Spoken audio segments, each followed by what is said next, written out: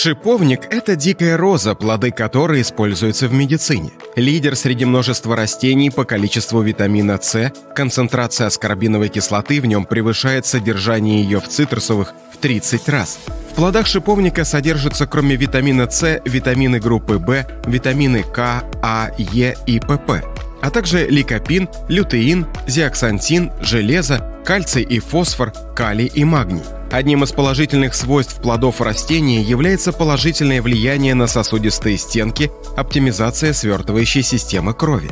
Благодаря этому стабилизируется артериальное давление, нормализуется сердечный ритм, происходит улучшение кровоснабжения органов, успокаивается нервная система. Чтобы в шиповнике сохранилось максимальное количество полезных элементов, необходимо его правильно заваривать. Для этого предлагается использование двух вариантов – Шиповник в пропорции 1 к 10 залить водой, температура которой 90 градусов, и закрыть в термосе на 15 минут. То же количество плодов и воды, но температура воды 60 градусов и время настаивания 30 минут.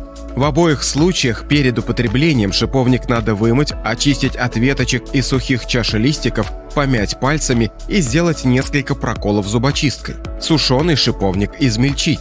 После заваривания раствор процедить и сразу выпить.